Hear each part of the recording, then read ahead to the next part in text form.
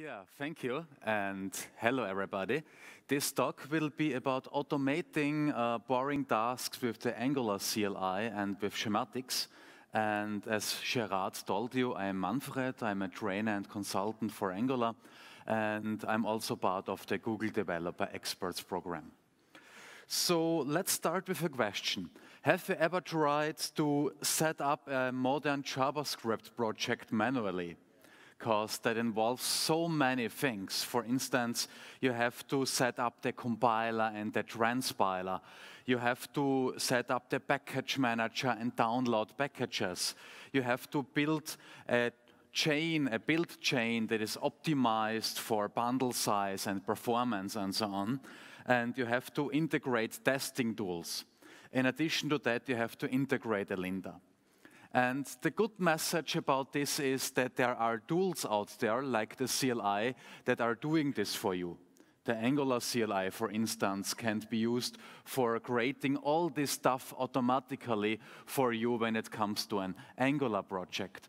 And I think that's quite important because without such tools, you are just driving crazy. And I think this is what the Joker meant in the epic comic called The Killing Joke, 1988, when he said something like, it takes just one bad project setup to make one sane man uh, uh, crazy. He didn't literally say this, but I think he meant this when he said something like this.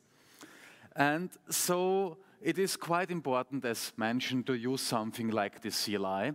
And as you have seen before, and as you will see now, it is quite easy to get started with the CLI. All it takes is just one command, for instance, ng new project name to scaffold a new project, and then you can move into the folder of the project and generate a component with ng generate component component name. And so the question arises if there is a way to tweak the CLI to create own stuff. For instance, to use an own uh, project setup, an own set of templates for a new project, or to use some other templates to create a completely own component type like this menu component here. And this is exactly what this talk is about. In this talk, I will show you how to do this with schematics, which is the uh, code generator, the scaffolding tool, dosing beyond the Angular CLI. I will show how to create custom schematics, as well as how to use parameters, and I will also show how to use templates. So let's get started. Let's talk about schematics and what it is. When it comes to schematics, as mentioned, you have the scaffolding tool used by the CLI itself.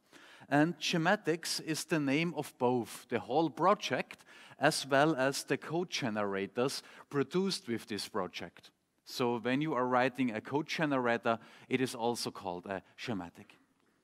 And there is another term that is quite useful. This term is called collection. A collection is just a set of code generators, a code with schematics. One word of caution here. Uh, schematics is currently an Angular Labs project, and this means that schematics is experimental. So there are breaking changes ahead. But nevertheless, I want to encourage you to give it a try to find out what it can do for you, to find out how it can uh, prevent you from driving crazy. And so also did other people in the community. For instance, the Fox over there at Nrwl created a toolset called NX, and NX is both a library but also a code generator that creates a nice workspace for your Angular project, a nice workspace that can consist of several applications as well as of several libraries. On the other side, some days ago, the NGRX team that is providing a library for doing Redux in the Angular world also announced schematic support. The newest version of NGRX comes with a code generator that allows you to generate all the boilerplate code. So one important thing about schematics is that a schematics, a code generator built with schematics is atomic, like a database transaction. That means that your current project isn't directly modified. Instead of this, you are using a staging area. The staging area, you will see it later, is uh, defined by a tree object in your source code. And within the staging area, you can modify existing source code. And of course, you can add new files. And as you can imagine, you can also delete files if you want. When you have done this in the staging area and when you have found out that everything works and everything is consistent, then you can uh, just write it back to your hard disk. And this makes schematics to put your current project from one consistent state into another one. So of course you are wondering how to create a custom schematic and the answer is quite easy. You can create a schematic with a schematic. So you can also leverage schematics to scaffold a new uh, schematics project. And this is quite easy. You just need to install the schematics CLI and then you can uh, call this command schematics blank with the parameter name and this creates a blank project for you. There is also another command. I like it more. It is called schematics schematic. This is also creating a new schematics project for you, but this schematics project will contain some sample schematics, some sample code that is showing you how schematics work and how you can tweak uh, the existing things schematics brings for you.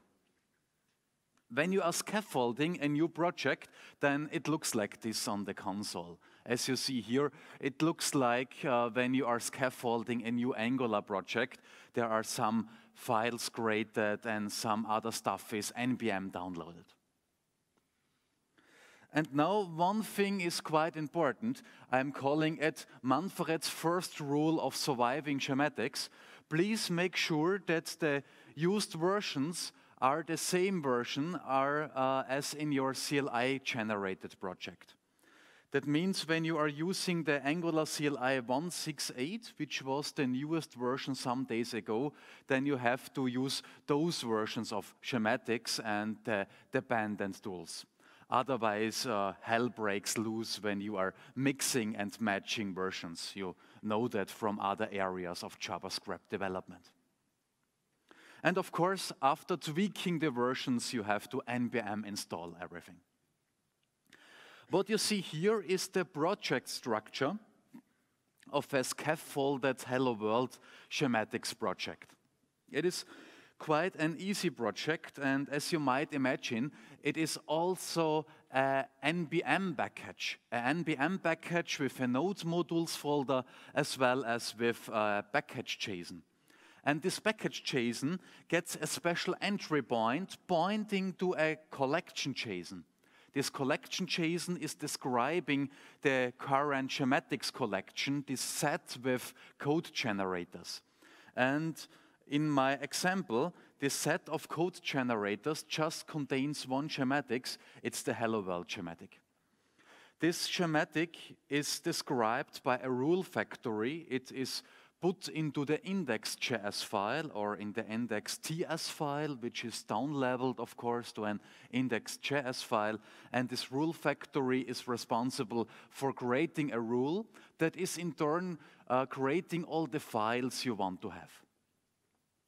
This is how a rule factory looks like. It's just a simple function, a simple JavaScript or TypeScript function, and this function is returning a rule, and the rule itself is just another function, a function that is taking the tree and the context object. The context object provides some general objects for you, like a logger I'm using here, it also provides other objects that allows you to analyze the current uh, collection to find out which other schematics are part of the current collection. And you get a tree object, and as mentioned before, the tree object is just your staging area. You can use the tree object to create new files, to modify existing files, to delete files. And this is exactly what I'm doing here because it's such a nice habit. I'm creating a file with the text hello world. And in addition to that, I'm also debugging something to the console.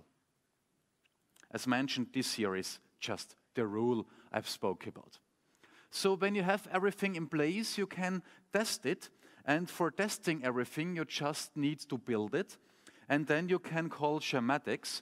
The point here points to the current project. This means that the current project is used as the collection. And Hello World points just to the code generator, to the schematic within the current project. You can also test everything within another project, within a demonstration application. And for this, you can npm install the whole collection, which is in turn just an npm package within the demo application, or you can link it. And then you can call schematics. In this case, you have to mention the name of the NPM package, which is Hello World, as well as the name of the code generator, which is also Hello World. Instead of this, you can also leverage the CLI uh, using the Angular CLI. The uh, current command is quite similar.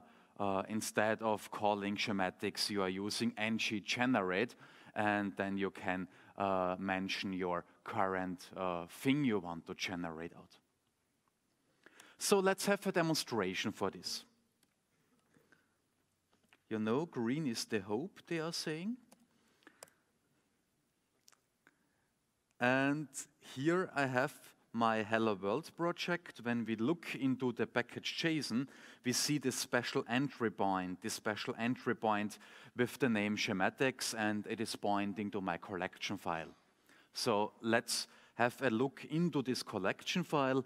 Here we see that all my code generators are described, and my one and only code generator is the Hello World generator with this description here and with this factory. This factory download it later, is uh, located within Hello World index, and the factory function has the name Hello World. Yeah, and here we have this Hello World thing. It is just my function that is returning the rule we've spoken about before. So let's switch to the console. Let's npm build everything. And then let's call this schematics. Schematics dot hello world. Yeah, as you see, uh, this is just writing out my debug message to the console, and here a hello DXD is created. So let's have a look into the hello DXD. And now you see the system cannot find the file. Uh, somehow it didn't work. So what did uh, happen here? Um, the thing that happened here is that when you are using a local schematics, it is used within the dry run, which means that it just is changing your tree, it is changing your staging area, but the staging area isn't written back to your project, to your hard disk. So meanwhile, we know that everything worked, but nothing has been written back. When we want to write it back, we have to set debug to false. This is just the case when we try out the schematic within its own project. Ooh. Here we go, debug equals false. And now we have our hello DXD. Awesome. Okay, this is nothing uh, that will cause me to call at home, but uh, it is a beginning. So after having a look at this Hello World project, let's go one step further. Let's speak about using parameters. And for this, I want to switch to another more exciting example, an example I'm using to show a lot of aspects of schematics. It's an example that is scaffolding the side menu here. And the side menu uh, consists of several files. For instance, there is a side menu item that is just describing one menu item of your menu. there is the Angular component that consists of an HTML file as well of a TypeScript file, and there is a service. And in addition to that, both the item as well as the service are optional. You can opt into them. That means that they are generated, but you don't need to generate them. Otherwise, uh, you will get some hard-coded menu items within the HTML file. And this is how I want to execute my case study. I just want to tell the Angular CLI, please generate a new navigation item, a new menu, call it side menu, and then I want to use this switch here, menu service, to indicate whether the service shall be used or not. This is the project structure I'm using. It is just another collection, and this collection, one more time, points to a code generator and this code generator, of course, has a rule factory. But in addition to that, it has also two files describing the possible parameters you can pass at command line. There is a schema JSON containing a JSON schema. This is the, my most favorite sentence within this presentation. Just let me repeat it. I really like it. The JSON, no, the schema JSON the JSON schema, and there is a file containing a class, and this class also describes everything the JSON schema describes. The class also reflects the possible command line parameters. And this is what this class can look like. There are some parameters like a past name or some paths like the app root or the current path or the source directory, and there is the flag for the menu service. So one thing is quite important here. The first things are automatically passed by the Angular CLI. So you don't have to bother about them, you don't have to pass them manually. The Angular CLI will find out the right values for these parameters and it will pass it. And this is your custom stuff you want to pass. When we look into the source code, this is my rule factory with the rule. And as you see here, it gets my menu options object passed, and I can use all those properties and uh, find out what to do when generating source code. Of course, to implement our case study, we need other things. We need templates. We need templates that are generating the source codes we want to have. And for this, I've just introduced a new folder within my uh, project. It is called Files. This Files folder contains several templates that will be used when the uh, scaffolding takes happen. And this is what such a template looks like. As you see here, it just looks like an ordinary PHP file. Who has used PHP so far? Okay, some of you, yes. I'm be honest, I've used it too. I was young and needed the money. And as you can see here, uh, you can just put some text between those delimiters, those delimiters that are executed during the scaffolding process, and that what is produced here is directly written to the output. In this case, I'm using a past property, the past property name, which contains the value of the parameter name, and I'm using the function classify. And this classify function is also passed to the template, and it formats a string so that it can be used as a class name. It's just a helper function. One nice thing about files, about template files, is that the template names are also templates. Those file names can also consist of other placeholders. Those placeholders are placed between uh, lower, lower cases, yeah, lower cases, underscores. And for instance, here we have a past property, the past property path. It's a property that comes from the parameters the CLI is passing. And here we have another past property, it's called name. The name of our menu, side menu, top menu, or something like this. And here we have a bust function that is exercised, uh, that is executed. Uh, this bust function gets the name parameter and it is just formatting this name.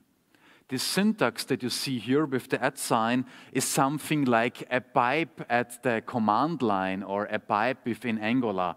You can say that the name parameter is just piped into this dasherize function. Yeah, when we want to execute the templates, we one more time need our factory and we also need to create a rule. And within this rule, we can create a template source. In the case of schematics, a source is just something that is written into your staging area. And as you see here, my template source is just built upon all the files in the folder files. This apply function takes all the files and pass them to the uh, mentioned other functions like filter templates, like template, like move. Filter templates, as you might imagine, is just filtering the available templates. It is, it is checking whether we need the template service or the template item, and if not, it is filtering it out. In addition to that, template is just calling all the templates and it is passing those two objects, the string utils object as well as the options object. The options object contains the passed command line options and the string utils object contains some string util functions like classify we've seen before. And as I'm using the spread operator here, the three points, not the objects themselves are passed, but their properties. So that means that all the properties from options are passed, like the name property, the path property, the source property, the appRoot property, and so on. And all the functions from the string utils object are passed, like, you know, dashify or classify and so on. Yeah, and then at the end we are using move, and move is just moving everything into place, moving everything to the right location within our source tree. Move also takes care about replacing the placeholders within the template names. Yeah, and after this you can build a rule upon this, and for this you are normally just chaining existing rules like the chain rule, which is just executing other rules in order. Or here I'm using the branch and merge rule, which is branching the current tree, doing some modifications, and then merging everything back. And within this, I'm using merge with to merge my template source into the current tree. That's more or less all you need to use some templates to generate custom code. Okay, let's have a look at this.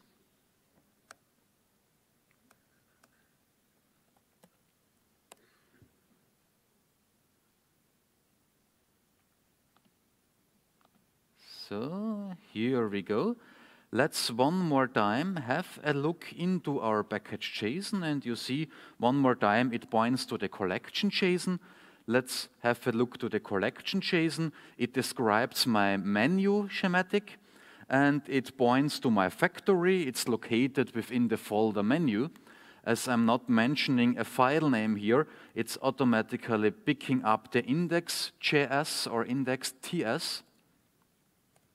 We have a description and we are pointing to a schema.